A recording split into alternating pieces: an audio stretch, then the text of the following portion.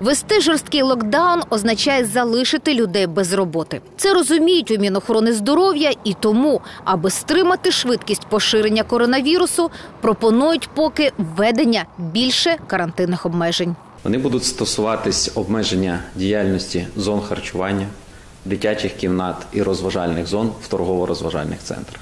Ми хочемо, щоб в торгово-розважальних центрах працювали виключно магазини для того, щоб люди могли купити необхідні їм речі і щоб це не впливало на економіку нашої країни. Також хочемо е, просити уряд заборонити проведення всіх масових культурних заходів, обмежити діяльність спортивних залів, фітнес-центрів, басейнів.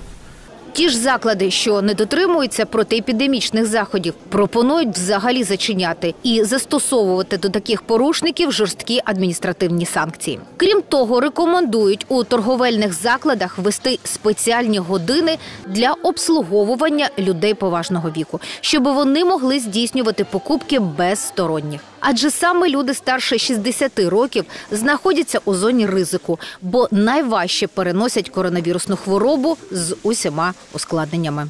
Це буде рекомендація, і ми просимо цю рекомендацію зробити з 10 до 12 години.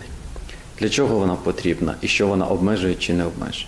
Е, Це не впровадження такої години обслуговування людей похилого віку е, не, не забороняє людям похилого віку відвідувати магазини в інший час. Але воно повинно спонукати людей до 60 років не відвідувати магазини, аптеки саме в період з 10 до 12. А от роботу дитячих садків, початкової школи навіть у визначених червоних зонах працювати не забороняють. Щодо магазинів, то вважають їх роботу слід обмежити з 7 ранку до 20 вечора. Про зупинку громадського транспорту мова поки не йдеться. А от про жорсткий карантин вихідного дня подейкують, як і про комендантську годину. Щоправда, для цього кажуть, потрібно вводити надзвичайний стан. Тож з цього приводу остаточного рішення поки немає. Анжела Сушко, Євген Клочко, Харківські звісті.